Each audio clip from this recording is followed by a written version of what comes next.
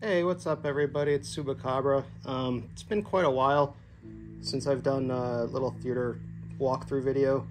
Uh, got a bunch of new additions that I'd like to mention, stuff like that. Um, so basically in the living room, uh, what have I changed in here? Not much really. Um, I did put the hover boss back underneath the theater seating. I had taken it out for a while, but I missed it so much because it's just way too much fun. Um, still have, you know, the 65 inch uh, Sony 900E. Was calibrated by uh, D-Nice. Still looks absolutely gorgeous all these years later.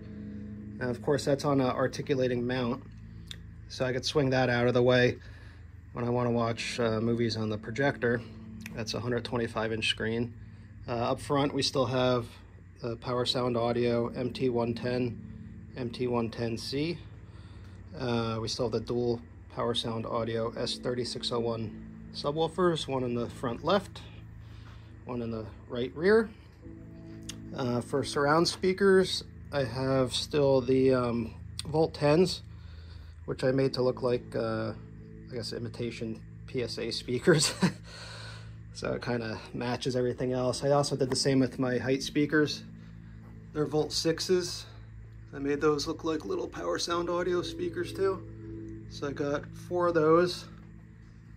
Uh, still rocking the BenQ HT3550.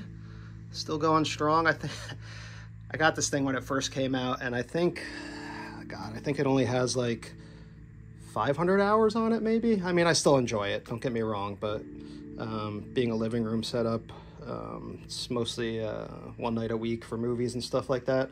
Um, as far as the equipment rack, start from the bottom. Got the Surge X, Surge Protector down there. Outlaw 5000, it's running my bed layer. Uh, still got the trusty Denon 6200W, still going strong. I uh, got the Aircom T7, I think it is, or T8. Uh, Behringer NX6000, which is powering the Hoverboss, the Stereo Integrity SQL12s. Uh, all that's running through Mini DSP tuned by AZ Tuning. Uh, shout out to Zach and Aaron. They did a tremendous job. I know Zach's really doing good for himself lately. Uh, 4K player, still got the, let's get a little blurry here. Still got the Sony uh, X800, which is kind of pissing me off lately because, Jesus Christ, I hate iPhones. Junk. Junk, I tell you.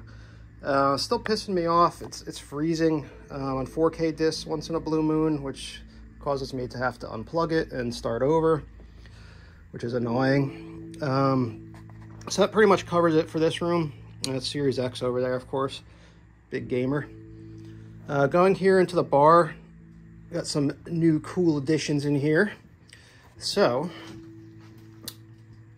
probably seen some of my other videos with um, I don't know why this is doing that, but uh, the Hisense U7K, which I just got. Uh, great, great, great, great value TV for sure.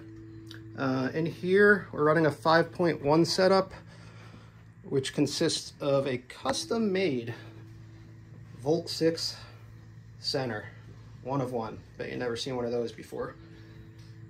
Volt 6 for the fronts, uh, some ELACs for the back, for the rears and a little uh, Rythmik subwoofer down there. It's a LV12, I believe, the sealed version.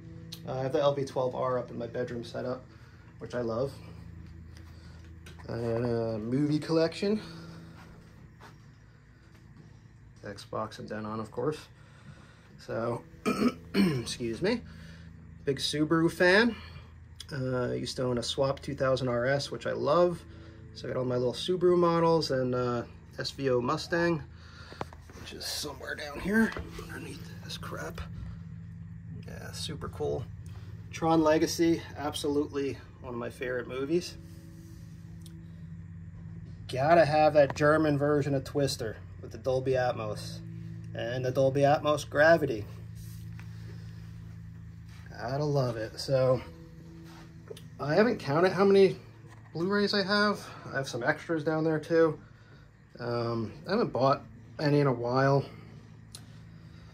I guess the latest I got was Titanic and the Mist. Titanic looks amazing.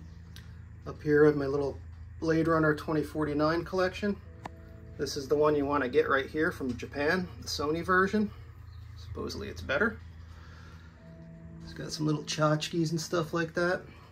So what I'm going to do now, I'm to pause this and I'm going to show you guys my bedroom setup.